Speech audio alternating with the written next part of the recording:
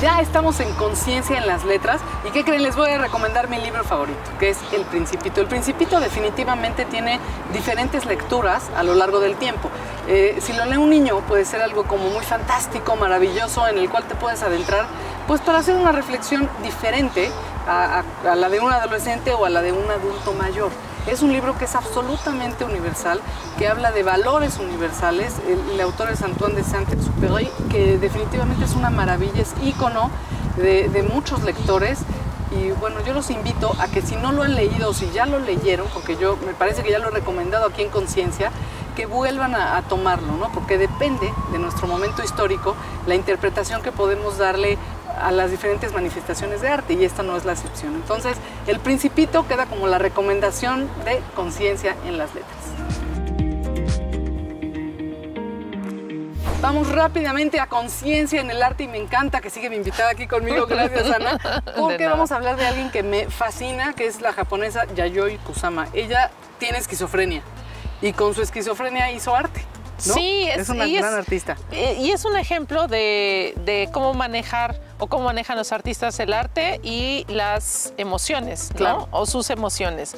Em, Tal vez si no tuviera el arte, Yayoi estaría, em, bueno, ni siquiera sabemos si estaría viva. Por supuesto. Em, es decir, el, arte, retomando el tema del programa, es el arte puede ser una forma de, control, de sanación, de autorreflexión. Em, es una, puedes, puede hasta inclusive llegar a ser una tabla salvavidas. Por supuesto. ¿No? Está el caso de Yayoi, que, Yayoi, que es, que esa parte es, bueno, una artista mundialmente conocida, súper exitosa, ¿no? Súper eh, consumible, súper eh, con mucho marketing, ajá, muy comerciable, ¿no? A la gente le llama mucho la atención, tiene estos colores brillantes, ¿no?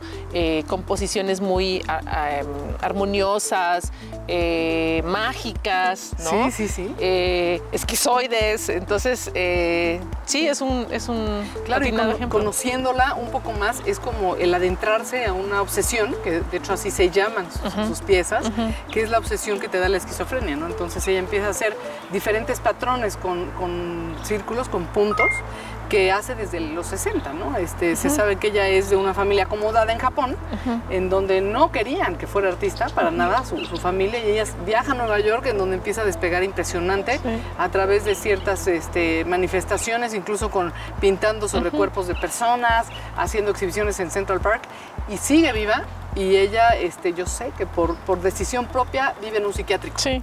Es impresionante. Así es, sí. Sí, es impresionante. Entonces, búsquenla, este, googleenla, la verdad es que es muy fácil encontrar información sobre ella y fotografías, ¿no? Para que vean su obra. Totalmente. Eh, ha hecho colaboraciones con diferentes artistas, diseñadores importantes como Louis Vuitton, con Marc Jacobs, me parece que también sobre las bolsas y sobre los perfumes. Hizo su patrón este de muchos puntos. Entonces, bueno, es algo, como tú dices, muy comercial que definitivamente pues, nos va a invitar a reflexionar.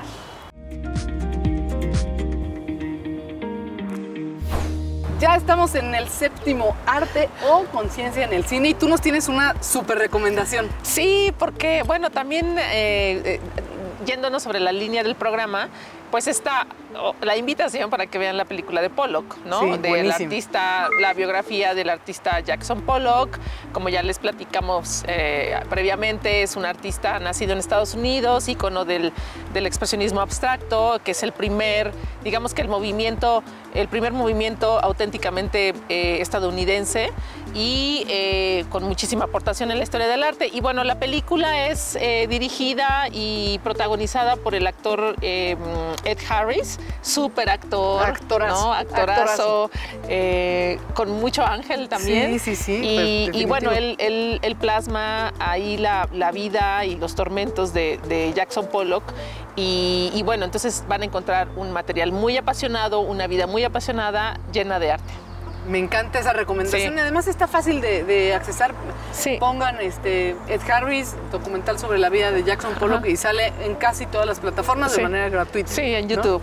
Exactamente. Muchísimas gracias. De nada. Te agradezco mucho eh, esta recomendación y sobre todo tu presencia en conciencia. Ay, al Muchísimas contrario, gracias eh, por estar aquí, por, por darnos todo lo que tú conoces y pues seguro que la gente hará conciencia a través de estas reflexiones. Esperemos que sí, hagamos todos conciencia. Muchísimas gracias, Ana. Tus plataformas, este, ¿dónde pueden encontrar tu En trabajo? Instagram, eh, Blue Velvet Gal y eh, una, una cuenta del proyecto que ya hemos, eh, los hemos invitado anteriormente, se llama Temporary Show, Ten con 10. 10. Ujú. 10 por Ari Show. Perfecto, para que vean lo que están, estamos haciendo en materia de arte. Sí, ¿no?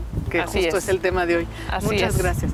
Bueno, pues yo agradezco su presencia en conciencia. Soy Grace Balcázar y los espero en la próxima emisión. Muchas gracias.